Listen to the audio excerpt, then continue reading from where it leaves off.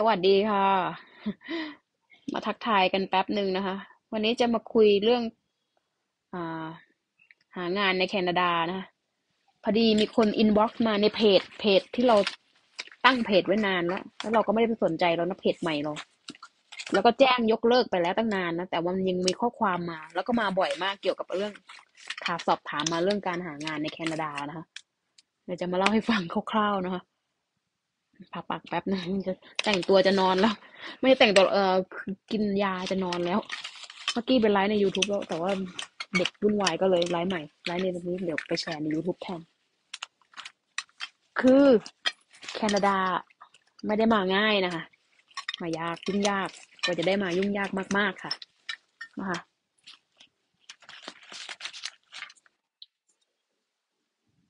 เนี่ยนะ เล่นเอฟเฟกต์ตรงไหนเขาเล่นตรงไหนลืมแล้ววันนั้นเล่นได้แต่วันนี้จำไม่ได้เล่นยังไงเออปวดหัวเอาเอฟเฟกต์ตรงไหนดี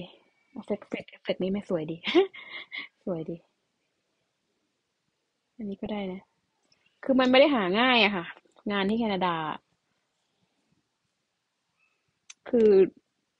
ถ้าคุณมีคนถามเนี่ยเออมีคนถามว่า งานเกี่ยวกับฟาร์ม ในฟาร์ม เก็บผักปลูกผักอะไรเงี้ย ก็ก็อาจจะมีนะ ก็คงจะมีแหละ แต่ว่า ส่วนใหญ่คนที่เข้ามาทำงานพวกนี้งานฟาร์มงานประมงงานอะไรของเขาเนี่ยนะส่วนใหญ่เขาจะมีเอเย่นนะคะเขาจะมาโดยโดยเอเย่นมีประมาณว่ามีตัวแทนจัดหางานที่เมืองไทยมานะคะแต่ว่าเราก็ไม่อยากแนะนำเรื่องเอเย่นนะเพราะว่ามันมีข่าวไงว่าเอเย่นน่ะบางทีหลอกไงหลอกเอาเงินเขาแล้วก็ ไม่ได้ ไม่ได้แบบว่าตามที่ต้องการอะหลอกเอาเงินเขาแล้วเสียตังค์ฟรีที่ออกข่าวกันเยอะๆนะคะไม่ไม่ได้จำกัดจำกัดว่าเฉพาะแคนาดาที่ออกข่าวทั่วโลกที่ข่าวที่ว่าคนโดนหลอกไปทำงาน แล้วก็ไม่ได้ทำบางทีโดนหลอกไปทำงานนี้ แล้วก็ได้ไปทำงานอีกงานหนึ่งอะไรประมาณเนี้ย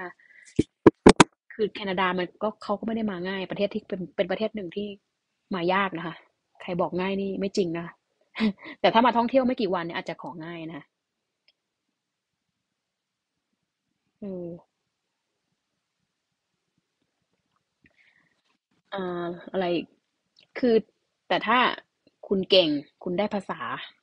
คุณสมัครในเว็บไซต์ของแคนาดาเลย คุณเข้าไปเลย มันจะมีให้เลือกมาทำงานด้วยเรียนด้วยมาทำงานอะไร คือแต่ว่าคุณต้องเก่งชำนาญเรื่องใดเรื่องหนึ่ง แล้วก็มีใบประกาศอะไรพวกนั้นนะนะ มีการผ่านเรียกอะไรใบใบ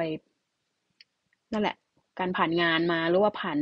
การศึกษาอะไรมา โดยเฉพาะเลยนะ skill ต่างๆ คุณเก่ง เก่งในสาขาต่างๆ เรื่องสาขาอาชีพ อาจจะเป็นหมอวิศวกรพยาบาล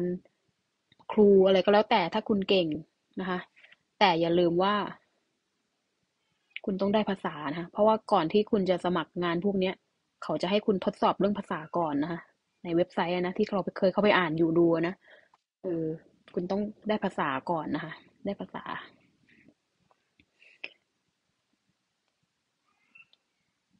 แล้วก็งานมันหายากค่ะ ที่แคนาดานะเพราะว่าทุกประเทศแล้วด้วยสถานการณ์ทั่วโลกมันเป็นแบบนี้ไงเศรษฐกิจมันพังพินาศนะงานหายากนะคะ แล้วก็แรงงานจากฟิลิปปินส์เยอะมาก แล้วประเทศนี้เขาเก่งภาษานะคะ เขาเป็นเมืองขึ้นของอังกฤษไม่ใช่อังกฤษอเมริกามั้งเป็นเมืองขึ้นของอเมริกากับสเปนมาก่อนเขาจะได้ภาษานะเขาได้ภาษา ภาษาเขาเป๊ะเพราะว่าเหมือนเขาเป็นภาษาใช้ในบ้านเขาอยู่แล้วไงใช้ในชีวิตประจำวันบ้านเขาอยู่แล้วนะอ่า อย่างยกตัวอย่างเมื่อหลายปีก่อนเรารู้จักน้องคนหนึ่งอะเป็นนักเรียนแลกเปลี่ยนจากอเมริกานะภาษานี่เป๊ะนะคะ เก่ง เก่งเลยแหละ พอเรามาใหม่ๆเราไม่รู้เรื่องศัพท์บางคำเราก็ไม่รู้พอฝรั่งพูดนี่เออเลยนะ แต่น้องนี่เขาเข้าใจ เขาเป็นนักเรียนแลกเปลี่ยนนะเขายังต้องมาทำงานทำความสะอาดนะคะหรือว่าขายเสื้อผ้าอะไรเนี่ยนะ ต้องได้ภาษาค่ะ แม้แต่ว่าแม้จะทำงานอะไรพวกเนี้ยคือแต่ที่เนี้ยเขาไม่ไม่ไม่ดูถูกเรื่องงาน ไม่ดูถูกอาชีพกันนะ ไม่ว่าคุณจะทำงานอะไรเขาไม่ดูถูกกันนะคะเออแต่ว่า งานอะมันหายาก ต่อให้คุณเก่ง แต่ถ้าคุณไม่ได้ภาษา คุณมาที่นี่คุณก็เหมือนต้องมาเริ่มใหม่อะค่ะ คุณต้องมาลงบางคนต้องมาลงเรียนใหม่นะคะ ต้องมาเรียนใหม่ ต้องมาทดสอบสอบใหม่นะคะ อืม ต้องสอบ คุณอาจจะเก่งที่เมืองไทยอาจจะเป็นผู้จัดการเป็นหัวหน้า หัวหน้างานเป็นอะไรต่างๆตำแหน่งดีๆ แต่ถ้ามาที่นี่คุณอาจจะไม่ได้ไม่สามารถเลือกงานได้นะคะ เออจนกว่า นอกจากคุณจะเก่งจริง ๆ แล้วก็ดวงดีออนะ หายากค่ะงานหายากนะคะแล้วก็แรงงานจากทั่วโลกก็แรงก็ต้องการจะมาที่นี่แรงงานจากทั่วโลกเลยนะคะมีแรงงานจากทั่วโลก หลักๆ คือฟิลิปปินส์มีหมดนะโอ้อันนี้แอปนี้สวยจังเลย ชอบอันนี้เอาอันนี้แหละ เออ อันนี้สวยที่อืมนะมาเล่าให้ฟังคร่าวๆว่ามันไม่ได้หาง่ายอะงานที่แคนาดานะเราไม่ต้องการที่จะมาดับฝันใครที่คิดอยากจะย้ายประเทศนะแต่ให้คิดดีๆนะที่นี่เราพูดถึงเฉพาะแคนาดานะเป็นเมืองหนาว คุณจะมาอยู่ คุณต้องต่อสู้กับอากาศที่หนาวเย็น หน้าหนาวมืดตั้งแต่สี่โมงห้าโมงเย็นนะคะเวลากลางวันนี่สั้นมากนะคะ หน้าหนาว หน้าหนาวเนี่ย ยาวนานประมาณแปดเดือนนะคะหน้าหนาว แม้แต่หน้าร้อนที่นี่ยังหนาวเลยค่ะ หน้าร้อนยังบางวันติดลบก็มีนะหน้าร้อน ขนาดในหน้าร้อนนะคะห้าองศาหนึ่งองศามีนะคะ ในหน้าร้อนนะคะเป็นบางบางวันสูง ติดลบสูงเออบางวันอุ่นถึงสามสิบเอาวันรุ่งขึ้นเหลือห้าองศาก็มีค่ะนะคะคุณมาอยู่ที่นี่คุณจะต้องต่อสู้กับสภาพอากาศที่หนาวเย็นหนาวมากนะคะ หนาวมาก หนาวมาก มืดเร็วนะคะกลางวันมืดเร็วนะนี่อย่างวันนี้นะมันฝนตกมันมีหิมะค้างเก่าอยู่ แล้วมันฝนตกลงมา มันทำให้ถนนลื่นนี่เดินหัวทิ่มทั้งบ้านนี่เดินหัวทิ่มเพราะว่าหน้าบ้านไม่ได้กวาด เดินหัวทิ่มเลยนะ มันลื่นเลยนะ มันลื่นมากเลยนะอืออะไรอีก ต้องมาต่อสู้กับอากาศที่หนาวเย็น ต่อไปต้องมาต่อสู้กับค่าครองชีพที่แพงริบลิ่วแตงกวาลูกละเจ็ดสิบบาท เตรียมเงินไว้ซื้อแตงกวา เออ English cucumber ลูกละเจ็ดสิบบาทประมาณนะเลยลูกใหญ่ๆนะส่วนเพกไอ้ลูกเล็ก ๆ ก็มันไม่เหมือนแตงบ้านเรา มันจะรูปร่างหน้าตาแตกแตกต่างออกไป แต่มันคือแตงกวานั่นแหละ ประมาณห้าแพ็คหนึ่งมีประมาณห้าหรือหกลูกนะคะ บางที่จะขายแพ็คหนึ่งประมาณร้อยห้าสิบบาทไทยนะ แตงกวาห้าลูกเล็ก ๆอะร้อยห้าสิบบาทไทยนะคะ คุณคิดว่าแพงไหมล่ะ ที่บ้านเราคุณบอนบ่นว่าหมูแพง แต่ที่นี่คุณมาเจอแตงกวาที่นี่แล้วคุณจะอึ้งนะคะ แตงกวากับมะเขือเทศเจอที่นี่แล้วจะอึ้งนะเออแพงนะคะภาษีแพงนะคะภาษีสำหรับสามีนะเกือบครึ่งหนึ่งของรายได้นะเสียภาษีนะคะ,ะคุณอาจจะบอกว่าอะที่นี่หมูแพง เห็นเห็นพี่คนหนึ่งบอกที่นี่หมูแพง แต่ว่าค่าแรงดีค่าแรงแพงกว่าอะไรประมาณนี้ ก็จริงแต่ก็ใช่ แต่ว่าคุณยังไม่ได้คิดเรื่องอะไรรู้ไหมค่าบ้าน ค่าน้ำค่าไฟ ค่าอินเทอร์เน็ตทุกอย่างแพงมหาโหดนะ ค่าน้ำค่าไฟที่เมืองไทย เดือนหนึ่งคุณเสียเท่าไหร่ ก็ไม่ถึงพันใช่ไหมอย่างมากก็พันหนึ่งพันพันสองพันไม่แพงมากนะคะแต่ที่นี่ค่าน้ำนี่โดนเดือนหนึ่งตกเป็นหมื่นนะคะ ค่าไฟอีกต่างหากนะคะ ค่าน้ำค่าน้ำเดือนหนึงเป็นหมื่นนะคะ ถ้าใช้เยอะๆเป็นหมื่นนะคะ ขนาดเราไม่ได้ใช้เยอะมากก็อาบน้ำปกติ แต่ว่าค่าน้ำมันเป็นราคาปกติของที่นี่ไงเป็นหมื่นนะคะ ค่าน้ำเป็นหมื่นค่ะ ค่าอินเทอร์เน็ตเห็นไหมที่เราบอก อินเทอร์เน็ตบ้านอาจจะถูกกว่า แต่ว่าถ้าคุณต้องการ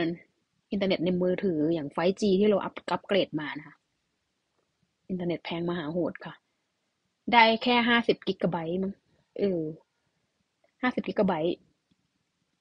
เราเอาเอาไปที่ออนตาริโอนะ ปรากฏว่าไม่มีสัญญาณนะคะสัญญาณไม่มี ถ้าคุณอยู่ไม่ได้อยู่ในเมืองนะ ไม่มีสัญญาณอินเทอร์เน็ตค่ะ นะคะ แค่ขับรถผ่านออกนอกเมืองไปนิดเดียว สัญญาณหายเลยขออภัยแค่ขับรถนอกเมืองนิดเดียวสัญญาณหายเลยนะคะเออสัญญาณอินเทอร์เน็ตหายเลยค่ะ แล้วแพงเดือนหนึ่งที่เราจ่ายนะล่าสุดนะเท่าไหร่นะร้อยห้าสิบเหรียญประมาณร้อยห้าสิบเหรียญนี่แหละเออแพงมาก แต่ไม่ดีอินเทอร์เน็ต เราต้องการแบบ unlimited ปรากฏว่ามันไม่มีนะ unlimited อินเทอร์เน็ตที่นี่ไม่มีนะคะพอใช้ใช้ไปมันจะลด speed ใช้ใช้ไปมันจะลด speed ค่ะเราเราเปลี่ยนมาสองเจ้าละ ไม่ไม่โอเคเลยสักเจ้าเดียวนะคะใช้ใช้ไปลด speed โอเค ไอความจุอะไรนะ ความเร็วห้าสิบกิกะไบต์ ถ้าคุณดูแค่แอปดู YouTube ดูข่าวดูเข้า Facebook เล่นไลน์อะไรเงี้ยโอเค ใช้ได้นาน แต่ถ้าเมื่อไหร่ที่คุณต้องลงคลิปหรือว่า live streaming แบบนี้นะแป๊บเดียวค่ะ คุณจะไลฟ์ได้ไม่เกินสามหรือสี่ครั้ง มันจะส่งข้อความมาบอกว่า you use อินเทอร์เน็ตไปแล้วเจ็ดสิบเปอร์เซ็นต์แปดสิบเปอร์เซ็นต์มันจะส่งข้อความมาบอกนี้เลยนะคะเออทุกอย่างแพงค่ะที่นี่นะคะแพงหมดนะคุณคิดให้ดีนะ ถ้าคุณคิดว่าจะย้ายประเทศ เราไม่ได้ดับฝันใคร โอเค บางเรื่องดีมาก บางเรื่องก็ไม่ได้ดีนะคะอืม อันนี้พูดจากใจสำหรับคนที่มีประสบการณ์อยู่ที่นี่โดยตรงนะคะห้าปีนะรู้เลยว่าเป็นยังไงนะคะอืม บอกบอกสรุปสรุปก็คืองาน งานมันหายากค่ะ งานหายาก แล้วก็ถ้าไม่เก่งไม่ได้ภาษายิ่งหายากค่ะนะ